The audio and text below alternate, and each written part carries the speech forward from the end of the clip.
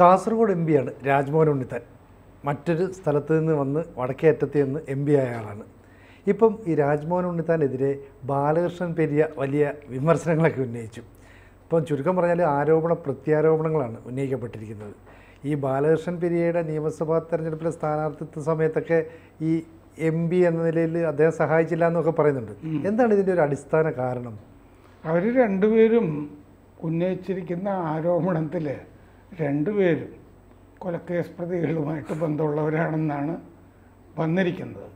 ഒരാൾ ഒരാളൊരു കൊലക്കേസ് പ്രതിയുടെ കൂടെ മറ്റേയാളെ കണ്ടു എന്ന് പറയുന്നു. അപ്പോൾ മറ്റേയാൾ പറയണു ഞാൻ ഇയാളെയും കൊലക്കേസ് പ്രതിയുടെ കൂടെ കണ്ടിട്ടുണ്ട് എന്നാണ്.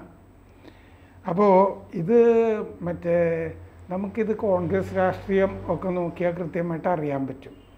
വരത്തൻ എന്നാണ് പേരിയ ബാലകൃഷ്ണൻ ഇങ്ങനെ പറ്റി ഉണ്ണിത്താനെ പറ്റി പറഞ്ഞുകൊണ്ടിരുന്നു. പറഞ്ഞിരിക്കുന്ന അതിൽ പലയിടത്തും. പിൻവലിച്ച പോസ്റ്റിൽ അപ്പോൾ ഈ ബാലകൃഷ്ണൻ പേരിയ ആഗ്രഹിച്ചിട്ടുണ്ടാവുമല്ലോ ഏതെങ്കിലും കാലത്ത്? ഒരു എം പി ആവും എന്നൊക്കെ. അങ്ങനെ സ്വപ്നത്തിൽ പോലും ഈ ഉണ്ണിത്താൻ അങ്ങോട്ട് കാസർഗോഡ് കയറും എന്ന് വിചാരിച്ചിട്ടുണ്ടാവില്ല. അങ്ങനെയാണ് കാസർഗോഡ് ഈ ചെന്ന് മുസ്ലിം ലീഗ് സ്ഥാനാർത്ഥിയെ പോലെയൊക്കെ പെരുമാറി വലിയ മാറ്റമാണല്ലോ അദ്ദേഹത്തിന് ഉണ്ടായിരുന്നത് നെറ്റിയുടെ കറുത്ത ഒരു കാലത്ത് ആ കറുത്ത കുറിയുടെ കാരണങ്ങളൊക്കെ അദ്ദേഹം പറഞ്ഞിരുന്നു. ഏ? അത് എവിടുന്നാണ് എങ്ങനെയാണ് പിന്നെ വീട്ടിൽ ചില ആളുകൾ കൂത്രോ കൂടോത്രം ചെയ്ത് എന്തൊക്കെയോ പറമ്പിൽ കുഴിച്ചിടുന്നുണ്ട് എന്നൊക്കെ ഒരു വലിയ വിവാദ വിവാദങ്ങളുടെയൊക്കെ വലിയ ഇഷ്ടതോഴനാണ് പണ്ട് കെ. മുരളീധരനെതിരെ നടത്തിയ. ആക്രമണമൊക്കെ ഗംഭീരമായ ഒരു ഘട്ടമുണ്ടായിരുന്നു. അപ്പോൾ ഈ മാസം ഏഴാം തീയതി മറ്റേ ഉണ്ണിത്താൻ പറഞ്ഞ ഇതാണ്. ഈ മാസം ഏഴാം തീയതി. മറ്റേ പേരിയ കേസ് പ്രതി പതി കേസിലെ പതിമൂന്നാം പ്രതി എൻ ബാലകൃഷ്ണന്റെ മകന്റെ വിവാഹ സൽക്കാരത്തിൽ പങ്കെടുത്തവരൊന്നും കോൺഗ്രസിൽ ഉണ്ടാവില്ല എന്നാണ് പറഞ്ഞത്. പൊതു പ്രസ്താവനയാണ്. അപ്പോൾ അതിൽ പങ്കെടുത്ത ആളാണ് പേരിയ ബാലകൃഷ്ണൻ. അപ്പോൾ പേരിയ ബാലകൃഷ്ണനിലേക്ക് വരുന്നതിന് മുമ്പ് തന്നെ അവിടെ പുല്ലൂർ പേരിയ മണ്ഡലം പ്രസിഡന്റ് പ്രമോദ് പേരിയയെ പുറത്താക്കി കഴിഞ്ഞു. അവിടുത്തെ ജില്ലാ പ്രസിഡന്റ്. അപ്പോൾ ഇത് ഒരു സൂചനയാണല്ലോ. അതിൽ പങ്കെടുത്തവരെയൊക്കെ പുറത്താക്കുന്ന ഉണ്ണിത്താൻ പറയുക മാത്രമല്ല ഒരാളെ മണ്ഡലം പ്രസിഡന്റിനെ പുറത്താക്കി അതെ. ഇനി ഇങ്ങോട്ടുള്ള പങ്കെടുത്തവരിൽ ഇങ്ങോട്ടുള്ള ഊഴമാണ് അപ്പോൾ തെരഞ്ഞു പിടിച്ച് ഈ എല്ലാം ഫിക്സ് ചെയ്ത് വെച്ചിട്ടുണ്ട് ആരെയൊക്കെയാണ് എന്നൊക്കെ ഉള്ളത് ആരെയൊക്കെ പുറത്താക്കണം എന്നുള്ള പട്ടിക. തയ്യാറാണ് അപ്പോഴാണ് വളരെ നീണ്ട ഒരു പോസ്റ്റ് ഞാനേതായാലും കോൺഗ്രസ് വിടുകയാണ് ഈ വരത്തൻ കാരണം. എന്ന് പറഞ്ഞിട്ടുണ്ട്. അപ്പം കോൺഗ്രസ് വിട്ടിട്ട് വേറെ എവിടെയോ പോകാനുള്ള ഒരു പദ്ധതി ഉണ്ട് ഒരു പദ്ധതി ഉണ്ടെങ്കിലും. അദ്ദേഹം മറ്റേ നമ്മുടെ ജാവ്ഡേക്കറെ കണ്ടിട്ടില്ല. ആ ഒരു വ്യത്യാസം. അപ്പോൾ ബാലേഷം പറയുന്നത് ഉണ്ണിത്താൻ കല്യാട്ട് കൊലക്കേസ് പ്രതി മണികണ്ഠനുമായിട്ട് പലപ്പോഴും ചർച്ച നടത്തിയിരുന്നു. ഏ? നേരത്തെ അത് ചർച്ച നടത്തിയത് തന്നെ കുഴപ്പം പിടിച്ച ആളുകളുമായിട്ടാണ്. പിന്നെ ഇടത് കോൺഗ്രസിൽ നിന്ന് മാർക്സിസ്റ്റ് പാർട്ടിയിലേക്ക് പോയ പാതൂർ എന്താണ്? ഷാനവാസിന്റെ വീട്ടിൽ ആണ് ഗൂഢാലോചന. നടത്തിക്കൊണ്ട്. ഒന്നിലധികം തവണ ഈ പ്രതികളും ഒക്കെ ആയിട്ട് മണികണ്ഠനും ഒക്കെ ആയിട്ട് കണ്ട് കണ്ട് കൊണ്ടിരുന്നതൊക്കെ. പിന്നെ ഈ ഉദുമയിൽ ഈ ബാലകൃഷ്ണൻ സ്ഥാനാർത്ഥിയായിരുന്ന കാലമുണ്ട് എം എൽ എ. എ- നിയമസഭ നിയമസഭയിലേക്ക്. ആ സമയത്ത് ഈ ബാലകൃഷ്ണനെ തോൽപ്പിക്കാനും ഈ ഉദുമ മറ്റേ ഈ വീട്ടിൽ ഷാനവാസിന്റെ വീട്ടിൽ പാതൂർ ഷാനവാസിന്റെ വീട്ടിൽ ഗൂഢാലോചന. ഗൂഢാലോചന ഉണ്ണിത്താൻ നടത്തിയിരുന്നു എന്ന് ആരോപിച്ചിട്ടുണ്ട്. അപ്പോ അപ്പോൾ ഇപ്പം സംഭവിച്ചിരിക്കുന്നത് എന്താന്ന് വെച്ചാൽ ഉണ്ണിത്താൻ പറയുന്നത് ലോക്സഭ ഇപ്പോ ഇപ്പോൾ മത്സരം നടന്നല്ലോ. അതെ. ഉണ്ണിത്താനെ തോൽപ്പിക്കാൻ പേരിയ ബാലകൃഷ്ണൻ പല സ്ഥലത്തും ഗൂഢാലോചന നടത്തിയിരുന്നു എന്നാണ്. എന്ന് പറഞ്ഞാൽ ടി എൻ പ്രതാപനെ പറ്റി തൃശ്ശൂരിൽ ഒരു ആരോപണമുണ്ട് അതെ, അദ്ദേഹം- നിഷേധിക്കുന്നുണ്ട്. ആരോപണമായിട്ട് കിടക്കട്ടെ കിടക്കുന്നുണ്ട്.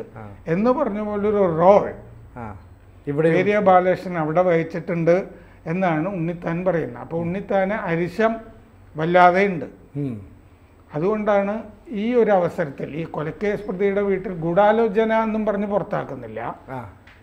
കൊലക്കേസ് പ്രതിയുടെ വീട്ടിൽ. കണ്ടു എന്ന് പറഞ്ഞ് ഈ ആക്ഷനിലേക്ക് നീങ്ങുന്നത്. അപ്പോൾ ഗംഭീരമായിട്ടാണ് ചെയ്തിരിക്കുന്നത്. കാരണം പെരിയ ബാലകൃഷ്ണൻ അദ്ദേഹത്തിന്റെ കോൺഗ്രസിന് വേണ്ടി ചെയ്ത കാര്യങ്ങളൊക്കെ അതിന്റെ അകത്ത് നിരത്തിയിട്ടുണ്ട്. ഏ. സഹോദരന്റെ വീട് ബോംബ് വീട്ടിൽ ബോംബാക്രമണം ഉണ്ടായി. മകനെ സി പി എംകാർ വെട്ടി. എൺപത്തിനാല് മുതൽ സി പി എമ്മിന്റെ ഊരുവലക്ക്. നേരിടുന്നുണ്ട്. ഏ? മുപ്പത്തിരണ്ട് വോട്ട് വീട്ടിലുണ്ട്. ആ മുപ്പത്തിരണ്ട് വീട്ടും വോട്ടും കോൺഗ്രസിനാണ് ചെയ്തുകൊണ്ടിരിക്കുന്നത്. ഏഴ് സഹോദരന്മാരുണ്ട്. അവർ ഏഴുപേരും കോൺഗ്രസിന് വേണ്ടി പ്രവർത്തിക്കുന്നവരാണ്. ഏ. ഇത് രണ്ട് മക്കളെയും ഈ സി പി എം വേട്ടയാടിയിട്ടുണ്ട്. പിന്നെ ആ കൃപേഷിന്റെയും ശരത്ലാലിന്റെയും കൊല്ലപ്പെട്ടവരെ. അവർ രണ്ടുപേരെയും ഒരു സ്ഥലത്ത് അടക്കണം എന്ന് പേരിയ ബാലകൃഷ്ണൻ.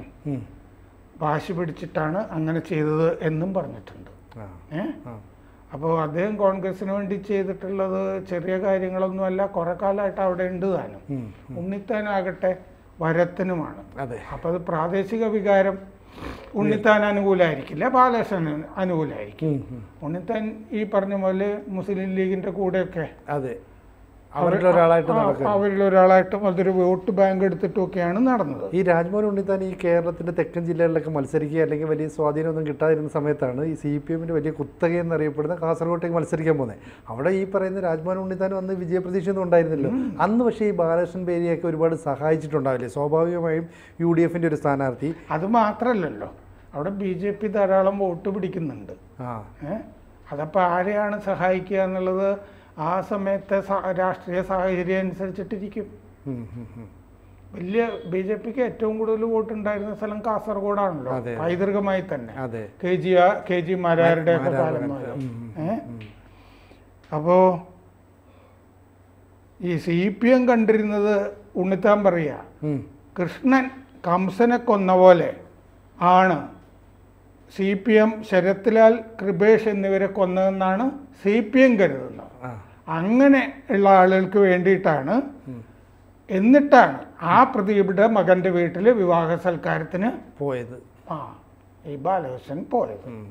അതാണ് വലിയൊരു ഇതിപ്പോ ഈ കോൺഗ്രസിലുള്ള അനൈക്യം പോലെ തന്നെ ഇത് ഒരു ചെറുതായിട്ട് കണ്ടാൽ മതിയോ ഇതിനെയും? അപ്പോൾ ഇതൊരു വലിയൊരു സംഭവം തന്നെയല്ലേ? കാരണം ലോക്സഭാ തെരഞ്ഞെടുപ്പിലെ ഒരു സ്ഥാനാർത്ഥി കാരണം സിറ്റിംഗ് എം പി എന്ന നിലയിൽ പുള്ളിക്ക് വലിയ സ്വാധീനം ഉണ്ടെന്നൊക്കെ പറഞ്ഞു. കാരണമല്ല ലീഗിന്റെ വലിയ പിന്തുണയും ഈ പറയുന്ന രാജ്മോഹൻ ഉണ്ണിത്താനുണ്ട്. അപ്പോൾ ഈ ബാലകൃഷ്ണൻ പേരി ഉന്നയിക്കുന്ന ഒരു ആരോപണത്തെ ഒരു ചെറുതായിട്ട് കാണാൻ പറ്റുമോ? അത് ചെറുതല്ല. എന്താന്ന് വെച്ചാൽ ഈ ലോക്സഭാ തെരഞ്ഞെടുപ്പിൽ ഉണ്ണിത്താനെ തോൽപ്പിക്കാനായിട്ട് ബാലകൃഷ്ണൻ പേരിയെ ശ്രമിച്ചു എന്ന് പറഞ്ഞല്ലോ. കുറേ വോട്ടുകളൊക്കെ ബാലകൃഷ്ണൻ പേരിയ വിചാരിച്ചാൽ മറിക്കാനൊക്കെ കഴിയുമായിരിക്കും. സ്വാധീനമൊക്കെ ഉള്ള ആളാണല്ലോ കുറെ. അതെ അതെ. കുറഞ്ഞ പക്ഷം മുപ്പത്തിരണ്ട് വോട്ടെങ്കിലും മറിക്കാൻ പറ്റും. വീട്ടിൽ മുപ്പത്തിരണ്ട് വോട്ട്. അതും പ്രധാനമാണല്ലോ. ആളുകൾ ഇരുപത്തഞ്ച് വോട്ടിനൊക്കെ ജയിക്കാറില്ല? തോൽക്കാറും ഉണ്ടല്ലോ അത്രയും വോട്ടിന്.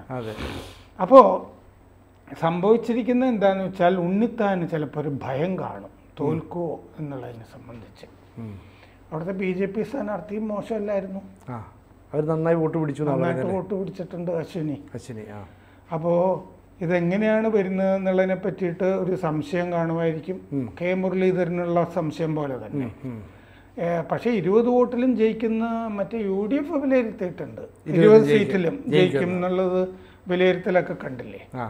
മറ്റേ തിരുവനന്തപുരം തിരുവനന്തപുരത്ത് പോയിരുന്നില്ല അവലോകനത്തിന്. എന്നാലും അവരങ്ങനെ തീരുമാനം എടുത്തിട്ടുണ്ടല്ലോ ജയിക്കുമെന്നുള്ളത്. ഇതിനകത്ത് ഈ കൃപേഷിന്റെയും ശരത്ലാലിന്റെയും ഒക്കെ കൊന്ന കേസിൽ പ്രതികൾ അതാണ് ശരിക്കും അതൊരു കേരളത്തെ നടുക്കിയ ഒരു സംഭവം തന്നെയാണ്. ശരിക്കും പറഞ്ഞാൽ ഈ കേസിലെ പ്രതികളുടെ വീട്ടിലൊരു വിവാഹ സൽക്കാരത്തിലോ അല്ലെങ്കിൽ മറ്റു ചടങ്ങുകളിലോ ഈ കോൺഗ്രസ് നേതാക്കൾ പോകുന്നത് ശരിയാണോ? അങ്ങനെ അത് ശരിയല്ലാത്ത പരിപാടിയായിരുന്നു അത്. അത് പറയുന്നത് ശരിയാണ്. പക്ഷെ അതേസമയം ബാലകൃഷ്ണൻ പറയുന്നതും ഉണ്ടല്ലോ. വേറൊരു കൊലക്കേസ് പ്രതിയായിട്ട് ഉണ്ണിത്താൻ കൂടാതെ കൂടാലോചന നടത്തി. ഞാൻ ആ ചിത്രവും കണ്ടു. ആ. മണികണ്ഠന്റെ കൂടെ ഉണ്ണിത്താൻ സംസാരിച്ചുകൊണ്ട് നിൽക്കുന്ന ഒരു ചിത്രം. അപ്പോൾ ഏത് ഏത് പ്രതിയാണ് മഹാൻ എന്നുള്ളത് അവർ ചർച്ച ചെയ്ത് തീരുമാനിക്കണമല്ലോ. അതെ. അപ്പോൾ ഈ ജനപ്രതിനിധികൾ എന്ന നിലയിൽ അവരിങ്ങനെ എല്ലാ വീടുകളിലും കയറി ഇറങ്ങി നടക്കും. മീൻസ് എന്തെങ്കിലും ഫംഗ്ഷനൊക്കെ ഉള്ള വീടുകളൊക്കെ പോകുന്നതിന്റെ ഭാഗമായിട്ട് പോയതാണെന്ന് പറയാൻ പറ്റുമോ അതോ അല്ലെങ്കിൽ ഈ അവർ വിവാഹ സൽക്കാരത്തിന് ക്ഷണിച്ചിട്ട് പോകുന്നതാണ്. കാരണം ഈ കൊലപാതകം നടക്കുന്നതിന് മുമ്പും ഇവർ തമ്മിൽ പരിചയവും ബന്ധമൊക്കെ കാണുമല്ലോ. അതെ. സൗഹൃദമൊക്കെ. അതെ. മാത്രമല്ല സി ഞാൻ ഇതിനെപ്പറ്റി ആലോചിച്ച എന്താണെന്ന് വെച്ചാൽ കൊലക്കേസ് പ്രതിക്കും. അവിടെ നിന്ന് വരനെ കിട്ടുക വധു വധുവിനെ കിട്ടുക. അല്ലേ. വീട്ടിലേക്ക്? കല്യാണം നടക്കുന്നുണ്ടല്ലോ. അതെ. അപ്പൊ അങ്ങനത്തെ ഒരു സാഹചര്യം സമൂഹത്തിൽ തന്നെ ഉണ്ടെങ്കിൽ പിന്നെ അതിൽ പങ്കെടുക്കുന്നതിൽ എന്താ തെറ്റ്? പെണ്ണ് കൊടുക്കാനും ഏ? പെണ്ണെടുക്കാനും ഒക്കെ ഈ കൊലക്കേസ് പ്രതിയുടെ വീട്ടിലും അയിത്തൊന്നുമില്ല അവിടെ. ഇല്ല. പക്ഷെ ഈ കണ്ണൂർ കാസർഗോഡ് ഭാഗത്തൊന്നും അങ്ങനെ ഉണ്ടാവില്ല. അതൊരു സ്വാഭാവിക കണ്ണൂരിലൊക്കെ ആണെങ്കിൽ എങ്ങനെയാന്ന് വെച്ചാൽ ഈ വിവാഹങ്ങൾ ഈ രക്തസാക്ഷികളുടെ കുടുംബങ്ങൾ തമ്മിൽ. നടത്തുക അങ്ങനത്തെ പരിപാടികളൊക്കെ ഉണ്ട്. അങ്ങനെയൊക്കെയാണ് ഈ സംരക്ഷണമൊക്കെ പോകുന്നത്. ആ ആ. പരസ്പരം രണ്ടുപേരും സംരക്ഷിക്കപ്പെടും എന്നുള്ള രീതിയിൽ ഇതിനകത്ത് ഇപ്പൊ ഈ ബാലകൃഷ്ണൻ പെരിയ ഒരു ഫേസ്ബുക്ക് പോസ്റ്റ് ഇട്ടാണല്ലോ ഈ പ്രശ്നങ്ങൾക്കെല്ലാം കാരണം. എന്തുകൊണ്ടല്ല അതിനു മുമ്പ് ഉണ്ണിത്താൻ ഉണ്ണിത്താനാണ് മറ്റേ കൊലക്കേസ് പ്രതിയുടെ വീട്ടിലേക്ക് വിവാഹ സൽക്കാരത്തിന് വീട്ടിൽ പോയവരെ കോൺഗ്രസിൽ കാണില്ല. കാണില്ല ആദ്യം പറഞ്ഞു അദ്ദേഹം. അതിനുശേഷം പറയുന്നത് അങ്ങനെയാണെങ്കിൽ ഞാൻ ഈ പാർട്ടിയിൽ ഇല്ല എന്ന് പറഞ്ഞിട്ടല്ലേ ആ അതാണ് അതാണ് ഈ ചർച്ച ചെയ്ത് വരുമ്പോൾ കിട്ടുന്ന ഒരു നിഗമനമായിട്ട് വരുന്നത്. ഞാനിനി ഈ പാർട്ടിയിലേക്കില്ല. ഈ വരുത്തൻ കാരണം ഞാൻ ഈ പാർട്ടി വിടുകയാണെന്ന് പറഞ്ഞാണ് അവസാനിക്കുന്നത്. അപ്പം അദ്ദേഹത്തിന് ധാരാളം അവസരങ്ങളുണ്ട്. അദ്ദേഹത്തിന് ബി ജെ പിയിലേക്ക് ചേരാമല്ലോ ഏ? സത്യത്തിൽ ഈ ജാവഡേക്കറൊക്കെ ഇനി പോയി കാണേണ്ട ആളാണ് ഈ പെരിയ ബാലകൃഷ്ണൻ. ഏ? ഇപ്പോൾ കെ സി വേണുഗോപാലിനെയും പുള്ളി രണ്ട് പേരെ പുള്ളി ഉത്തരവാദികളല്ല എന്ന് പറഞ്ഞിട്ടുണ്ട്. അതിലൊരാൾ കെ സി വേണുഗോപാലാണ്. ഏ? അപ്പോൾ ആ അവരിലാരോ മിക്കവാറും വേണുഗോപാൽ പറഞ്ഞിട്ടായിരിക്കണം ഈ പിൻവലിച്ചിട്ടുണ്ടാവുക ഏ?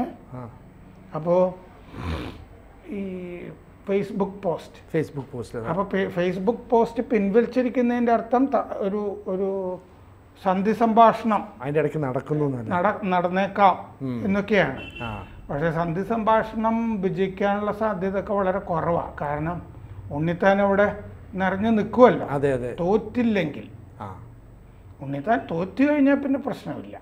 അല്ലിപ്പോൾ കെ സി വേണുഗോപാൽ പറഞ്ഞിട്ടാണെങ്കിൽ പോലും പരസ്പരം വിഴിപ്പലക്കൽ ഒഴിവാക്കുക എന്നുള്ളതിന്റെ ഒരു ആവശ്യം കൂടി ഉണ്ടല്ലോ. കാരണം ഇരുപത് മണ്ഡലങ്ങളും ജയിക്കുമെന്ന് ഉറപ്പിച്ച് നിൽക്കുന്ന ഒരു മുന്നണി ആ പരസ്പരം നേതാക്കൾ തമ്മിൽ അങ്ങനെ വീണ്ടും ഏറ്റുമുട്ടുക അതും ഇങ്ങനെ ഒരു കൊലക്കേസ്. അതല്ല ആ അവസാനത്തെ ഭീഷണിയാണ് ഈ ഏറ്റിരിക്കുന്നത്.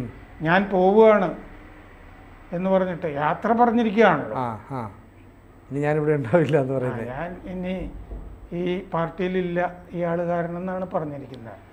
അതപ്പോ പോകുമ്പോൾ കുറേ ആളുകളും കൂടിയൊക്കെ പോകുമല്ലോ ബി ജെ പിക്ക് വേരോട്ടമുള്ളൊരു മണ്ണാണ്. പ്രശ്നമൊന്നുമില്ല. പല ആളുകളും ഇങ്ങനെ പോകുന്നുണ്ടല്ലോ. പാലക്കാട്ട് എ വി ഗോപിനാഥ്. പിന്നെ കണ്ണൂരിലെ കണ്ണൂരിൽ രഘുനാഥ്. രഘുനാഥ്. കോൺഗ്രസിൽ നിന്ന് ഇടക്കിടക്കിടക്ക് ഇങ്ങനെ കൊഴിഞ്ഞു പോക്ക്.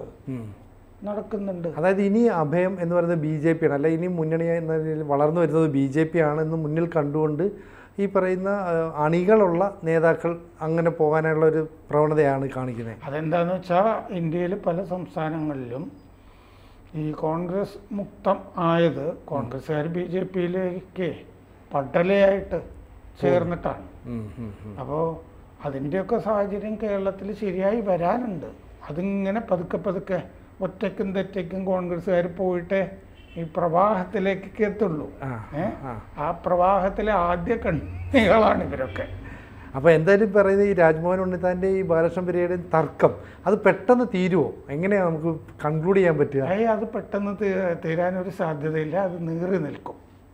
അപ്പോൾ എന്തായാലും ഈ തെരഞ്ഞെടുപ്പിന്റെ റിസൾട്ട് വരുന്നവരെ ഇതിങ്ങനെ നീറി നീറി നിൽക്കും. അങ്ങനെയാണെങ്കിൽ പിന്നെയും നമുക്ക് ഈ വിഷയങ്ങളൊക്കെ ചർച്ച ചെയ്യേണ്ടി വരും. അപ്പോൾ തൽക്കാലം നമുക്ക് ഇത് ഇവിടെ റിസൾട്ട് വന്ന ശേഷം അത് നീണ്ടുപോകാനാണ് സാധ്യത. എന്ന് പറഞ്ഞാൽ ഒരാൾ പുറത്തേക്ക് പോകുന്നതാണോ? ആ ഒരാൾ പോണം ഒരു ബാലകൃഷ്ണൻ പോകുന്ന പറഞ്ഞ് നിൽക്കുകയാണല്ലോ. അതെ. മാത്രമല്ല ബാലകൃഷ്ണൻ അത് പറഞ്ഞതുകൊണ്ട് ബാലകൃഷ്ണന് ധാരാളം വാഗ്ദാനങ്ങൾ ഇപ്പോൾ ചുറ്റും വീട്ടിലേക്ക് ചെല്ലുമല്ലോ അതെ അതെ. പല ആളുകളിൽ നിന്നും. അതെ. സി പി എംകാരും ചെല്ലും ബി ജെ പിക്കാരും ചെല്ലും ഏ? അവിടെ ആർ എസ് പി ഇല്ലാത്തതുകൊണ്ട് അവർ ചെല്ലില്ലായിരിക്കും.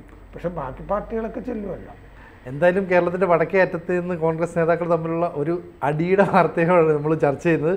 ഇനിയും വരും ദിവസങ്ങളിൽ ഇതിന്റെ തുടർച്ചകളുണ്ടാകും അപ്പോൾ നമുക്ക് കൂടുതൽ വിശദമായി ചർച്ച ചെയ്യാം.